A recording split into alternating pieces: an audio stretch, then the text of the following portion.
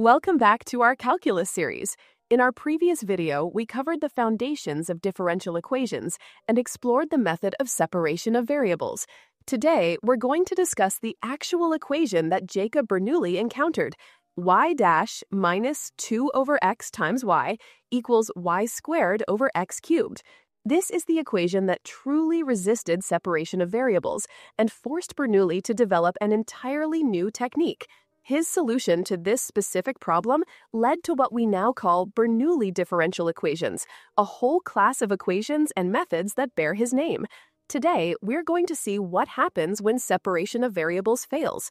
We're going to discover how Bernoulli overcame this obstacle with a revolutionary strategy called variation of parameters.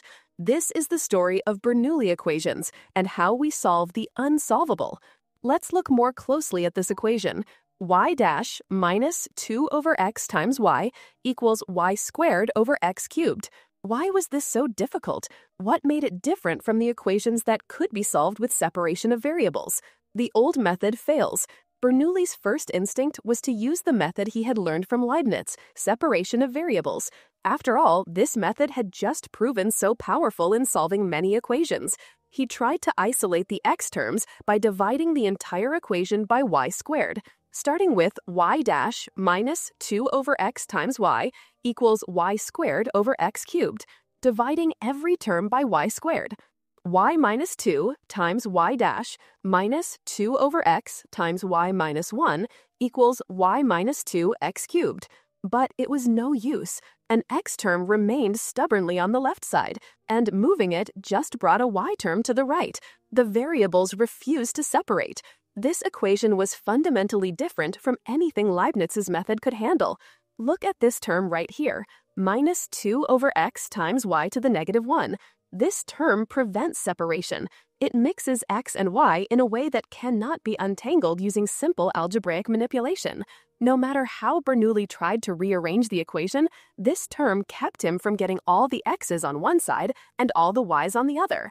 For a moment, it seemed the problem was truly unsolvable, but Bernoulli was no ordinary mathematician. He was about to have a brilliant insight, one that would change the course of differential equations forever. Here is the brilliant insight that changed everything. What if we broke the problem into two parts? What if, for a moment, we completely ignored the difficult part? Let me explain the strategy we're going to temporarily set the right side of the equation to zero. We'll create what mathematicians call a homogeneous equation, a simplified version of the original. Original equation, y dash minus 2 over xy equals y squared over x cubed. Simplified homogeneous equation, y dash minus 2 over xy equals 0. Why does this help? Because this simplified version we can solve using separation of variables. And crucially, and this is the key to understanding Bernoulli's genius, solving it will give us the underlying form of the true solution. Think of it like this. By ignoring the complicated part, we discovered the skeleton of the answer, and then we'll use that skeleton to build the complete solution that satisfies the full equation. This technique is called variation of parameters, and it's one of the most elegant problem solving strategies in all of mathematics. This simplified equation is easily solved with separation of variables. Let me walk you through each step carefully, because this solution gives us the vital clue to the structure of the final answer. Step 1. Rewrite the equation using Leibniz notation. Starting with y dash minus 2 over xy equals 0, we move the second term to the right side dy over dx equals 2 over xy. Step 2. Separate the variables. Now we isolate all y terms on the left and all x terms on the right. Integral dy over y equals integral 2 over x dx. Step 3. Integrate both sides. On the left side, the integral of 1 over y is the natural logarithm. Integral dy over y equals ln y. On the right side, the 2 comes out as a constant, and the integral of 1 over x is also the natural logarithm. Integral 2 over x dx equals 2 ln x. So we have ln y equals 2 ln x plus c. Step 4. Simplify using logarithm properties. We use the logarithm property that n ln equals ln a to the power n. So 2 ln x equals ln x squared. Ln y equals ln x squared plus c. Step 5. Exponentiate both sides to remove the logarithm. We raise e to the power of both sides. e to the ln y equals e to the ln x squared plus c. The left side simplifies because e to the ln y equals y. The right side can be split using the exponent rule e to the a plus b equals e to the a times e to the b. y equals e to the ln x squared times e to the c. Since e to the ln x squared equals x squared, y equals x squared times e to the c. Step 6. Express as a general form. Since e to the c is just another arbitrary constant, we replace it with c. y equals c times x squared. This is our solution to the simplified problem. Notice the form. It's a constant multiplied by x squared. This form, y equals c times x squared, is absolutely crucial. This is the skeleton we mentioned. This is the underlying structure that will guide us to the complete solution. Now comes the revolutionary idea. The solution, y equals cx squared, perfectly solves the simplified problem. But remember, we ignored the right side of the original equation to create this simplified version. To account for what we ignored, we need to make one radical change. What if the constant c is not a constant at all, but a function of x? Instead of y equals c times x squared, we try y equals c of x times x squared. We replace the constant c with a function c of x that depends on x. This technique is known as variation of parameters. The idea is brilliant in its simplicity. We keep the overall form of the solution, but we allow the constant to vary. This variation, this flexibility, will enable us to satisfy the original equation, including all the parts we temporarily ignored.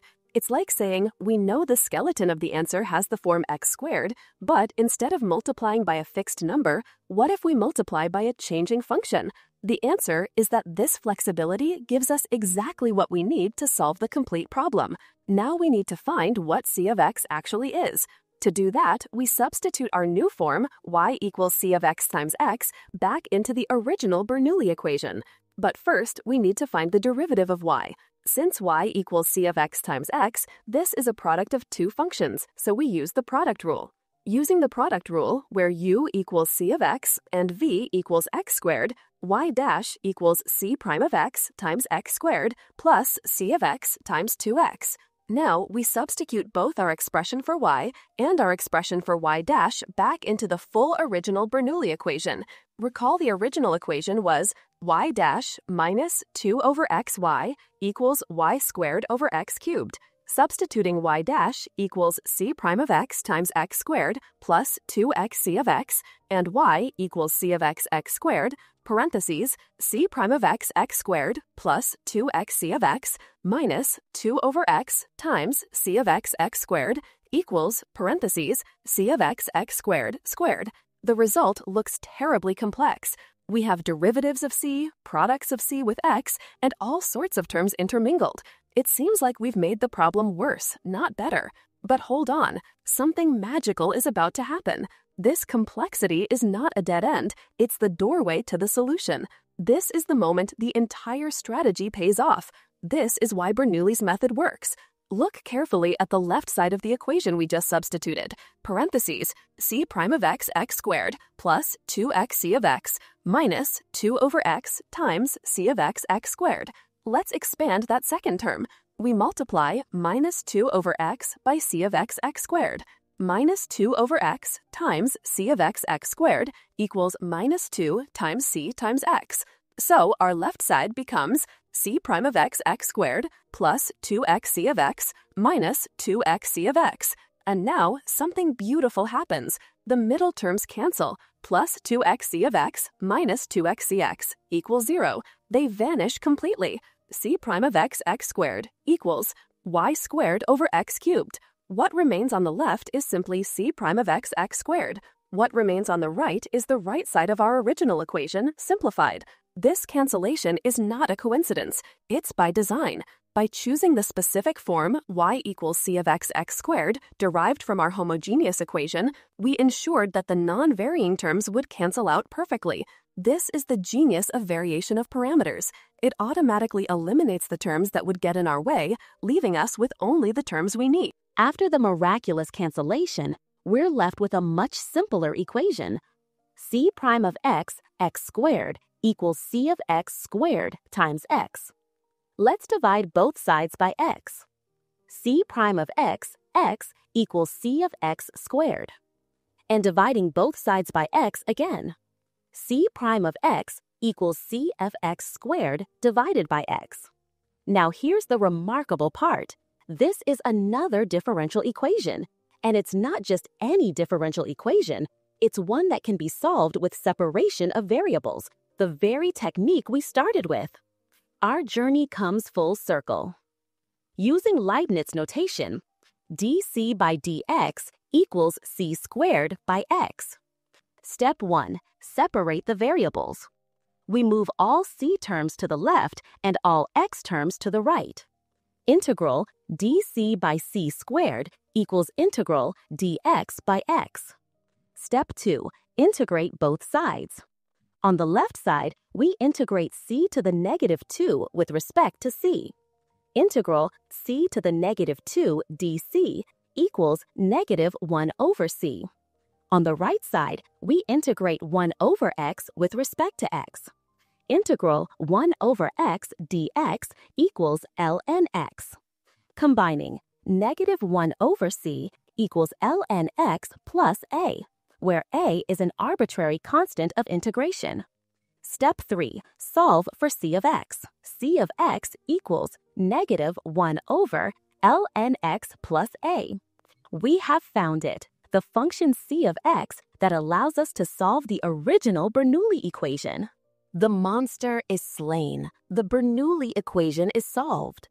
With our function c of x finally found, we substitute it back into our form y equals c of x x squared to get the final solution to the original problem.